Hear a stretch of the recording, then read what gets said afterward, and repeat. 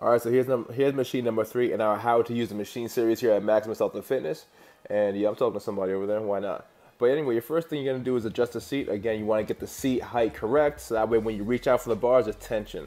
The second adjustment here is the actual chest pad that you're gonna be leaning against. You want to get that right, so you again, so you have a good amount of stretch as you reach for the handles. From here, we get seated, get situated, and there's two main grips on this machine. The first one here, as I'm demonstrating, is palms up, aka supinated. I'll do a couple reps like this so you guys can have an idea what it looks like from this angle.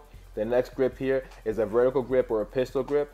And again, it's the same exact movement in regards to what the rest of our body is doing. However, switching the hand grips a little bit and how the hand hands are being used will change how we engage that muscle.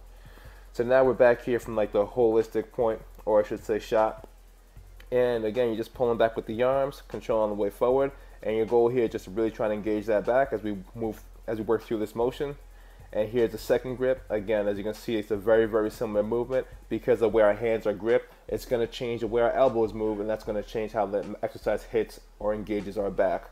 So, other than that, any other questions, comments, concerns, let me know. Can do here Maximus Health and Fitness. This is machine number three.